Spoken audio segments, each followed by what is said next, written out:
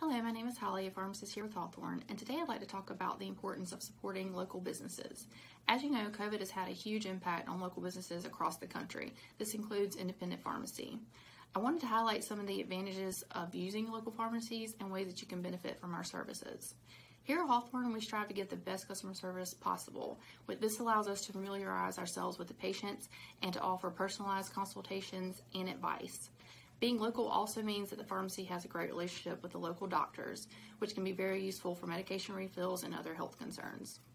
The pharmacy team also works hard to find affordable options for medications, whether it's calling the doctor for comparable substitutions or working with your insurance to get coverage.